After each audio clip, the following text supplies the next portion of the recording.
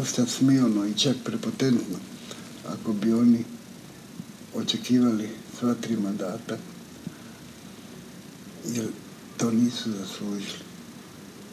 HDZ to nije zaslužio. To nisu zaslužili. Zašto? Zato što ništa se nisu izborili i ništa ozbiljno nisu napravili tolike godine dok su na vlasti bili.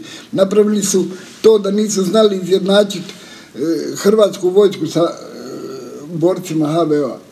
Pa šta hoćeš gore? Smanjili su od sedam mandata na tri mandata e, da bi dezavuirali ovaj narod i da bi ga napravili neznatnim. I sad ćemo glasati za njih.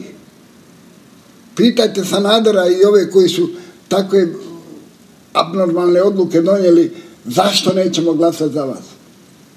Jer nas niste ne samo štitili, nego ste nas de, dezavuirali. E to treba narod znati.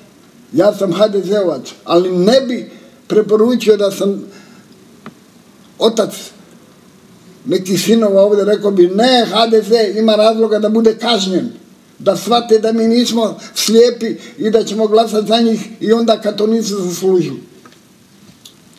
Za kako ste vi mogli napraviti tako zlo onima koji su, zamisli molim te, oni nisu poistovjećili borce HVO-a i, i, i Hrvat. Kako je to moguće?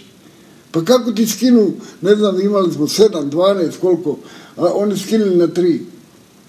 Pa sram neka vas bude sram da možete do te mjere pocijeniti ove vitalne ljude koji žive za Hrvatsku i žive za HDZ, uglavnom ovi ovdje. Izdali ste nas i neću glasati za vas.